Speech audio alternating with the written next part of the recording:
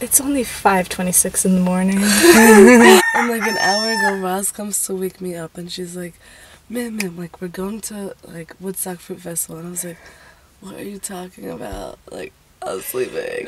I come to her and I start telling her like this random story, and she's like, "Why are you telling me this at 4:30 in the morning?" And I'm just like, "Wait for it, wait for it." it's about like a five-hour drive, and we're ready. Also, I slept like one hour. My heart was literally beating so fast because I was excited and I couldn't sleep.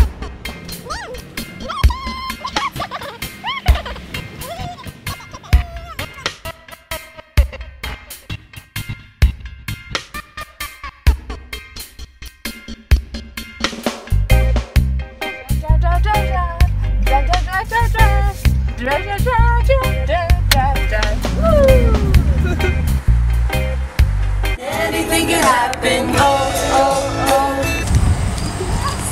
We made it!